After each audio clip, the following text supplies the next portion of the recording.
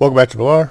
We have a another mini arcade, Ms. Pac-Man, that I got for $3.49. So it's the same kind of as some of the others you've seen. It's not in my arcade, it looks like.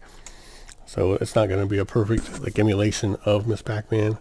We're going to clean it up as always. Turn it on there, turn it off. Again, I am a fan of these little cabinets and how they look.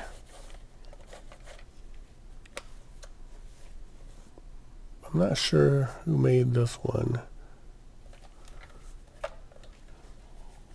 Because I'm pretty sure it's, it's definitely not, well, I won't say definitely not, but emulation wise, like how it looks, it's its own thing. It's not like how Ms. Pac-Man actually looks.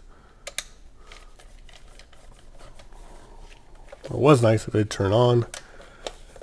Again, should be four double A's. The batteries are still working.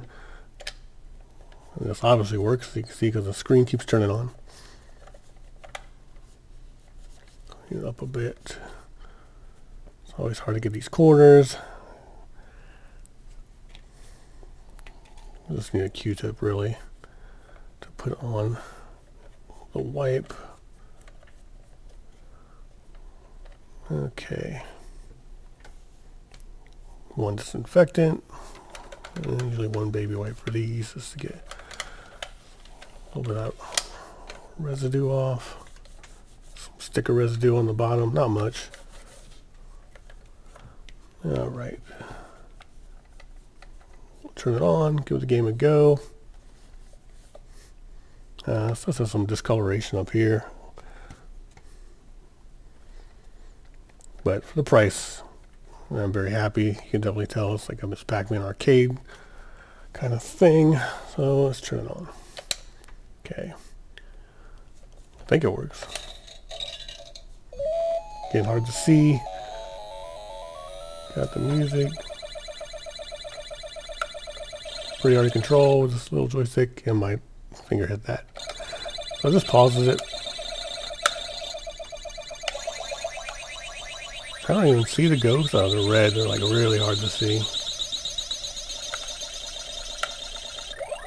So you probably just heard it. Maybe try to up a little closer.